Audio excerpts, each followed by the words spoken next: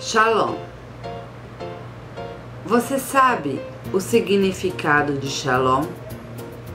Essa palavra é usada como uma saudação e modernamente significa bom dia, boa tarde, olá. Vejamos o significado da palavra em sua raiz original. Shalom significa paz, prosperidade, bem, saúde, inteireza, segurança. Shalom significa muito mais do que ausência de guerra. Inteireza, integridade, harmonia e realização são ideias mais próximas do significado da palavra. Em Shalom, encontramos implícita a ideia de relacionamento não abalados com outras pessoas e de desejo de sucesso às pessoas nas suas empreitadas.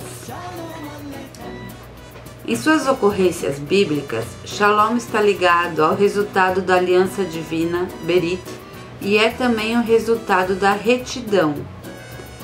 Em muitos casos, descreve o estado de plenitude e realização, que é o resultado da presença de Deus.